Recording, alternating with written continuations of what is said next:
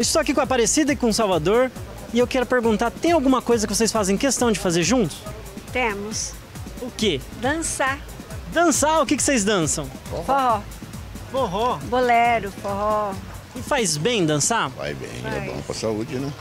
Bom. Pra saúde e pro casamento também, né? Também. É. A gente parece que se ama mais, né?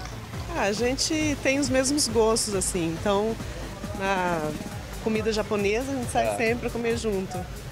E agora academia também. Depois de comer tem que fazer academia. E faz bem fazer juntos, assim, casal? Legal. Incentiva, né? Um incentiva o outro, é legal. E agora com o Júnior e com a Elo, tem alguma coisa que vocês fazem junto? Tudo. Como assim tudo? A gente até trabalha junto. E por que, que vocês fazem questão de fazer isso? Ah, pra ser pra divertir um pouco, né? Sair da, da monotonia, né? Assim, uma vida triste, né? Quem, quem não dança tá sempre triste. E aí dançando fica mais feliz. Ah, lógico. Ah, pelo fato de estar junto. A gente se gostar um do outro. Faz bem pra saúde e faz bem pra relação também. Sim, também, com certeza.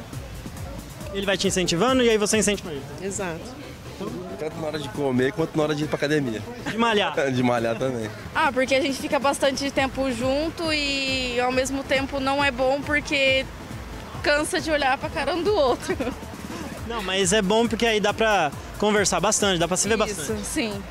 E o que mais que vocês fazem além de trabalhar? Sai bastante. Todo lugar junto. Mas que lugar, por exemplo? Ah, casa de amigo, nós vai. Shopping. Vocês recomendam é, a- os casais praticarem hábitos juntos também, né? Claro, é. É família, né? Isso quer dizer família, né? né?